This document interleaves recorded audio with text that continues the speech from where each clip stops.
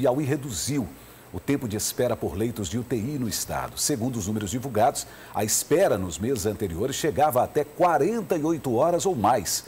Vamos ver como estão os números atualizados aqui no estado. Quem traz as informações é a repórter Shelda Magalhães. Boa tarde, Shelda. Boa tarde, João Neto. Boa tarde a todos. O Piauí tem nesse momento dois pacientes esperando por uma vaga em um leito Covid.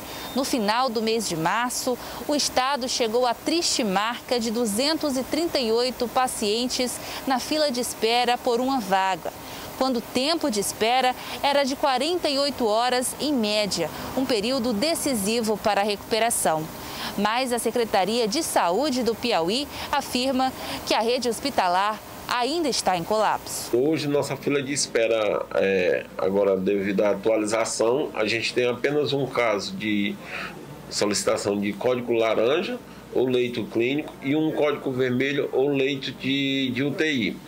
A gente até agora, a gente está praticamente já, só por precaução, já confirmando esses leitos para que possamos estar com nossa fila zerada.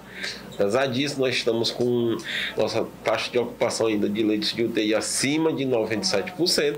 Isso denota um colapso de rede.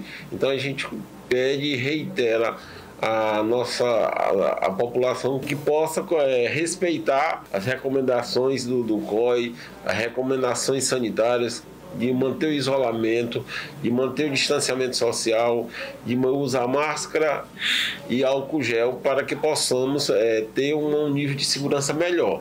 Mas as autoridades de saúde pedem cautela e que a população continue tomando todas as medidas sanitárias possíveis para evitar a proliferação do novo coronavírus até que a imunidade de rebanho seja conquistada através da vacinação. É com você, João Neto.